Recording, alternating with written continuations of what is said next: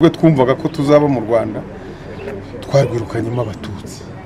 Niyo bite twari dufite nka fdr ariko nyuma twaje kugeraho imyumvire irahinduka. Dusanga u rwanda ari urw'abanyarwanda tugomba kurubamo rwese twese nk'abanyarwanda kimwe kandi tukarwubaka kuko ntawe urusha undi ubunyarwanda.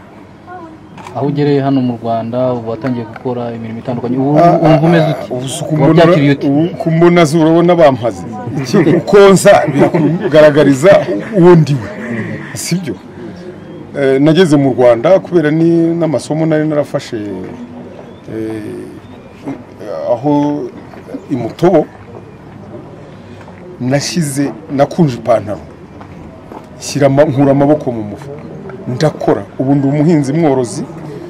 Wabigize umwuga norora ingurube nkorora n'ihene ndi umuhinzi w'urutoke ngahinga n'ikindi gihingwa nkunda cyane igihingwa bita ibijumba. Ibijumba mpinga mbigemurira ibigo by'amashuri urutoki mpinga ibitoki insina z'imineke. Ngemurira isoko rya kimisagara nkagemurira mu mujyi nkagemurira na za kimironko. Ukuntu umuntu ayumva yenda akagira ngo nayigereranya n'abagome. Kuko harimo nk'abana bavukiye muri kongo ubu bari abasirikare ubu. Mu rwanda batanakoze jenoside. Batagira icyo babazwa bageze hano mu rwanda. Noneho barahari. Bakababwira ngo utashye bakwica. Ubu se baranyishe narapfuye. Kandi ndi umusirikare. Navuye mu rwanda ndi umusirikare ndi umukomando. Yaba nk'umwana wavukiye se hariya ukiri hariya muri kiriya gihugu uri muri kongo ntiyiga ntazi gusoma ntazi kwandika mbese nta kizamugeraho.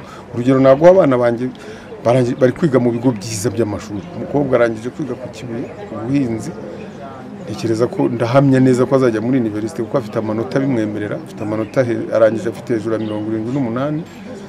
Umuhungu ari kwiga mu ishuri rye. Hakaba hari n'abandi eh, baza kugira ngo yumve ko ashiringa muri iyo community. Ari uko agomba kuvuga igihugu nabi abo bose nyine urumva ko baba bahari eh, basa naho bavuga igihugu nabi. Noneho rero iyo uhageze usa n'uvuga igihugu neza ugaragaza ibyiza bihari ntabwo bakwiyumvamo.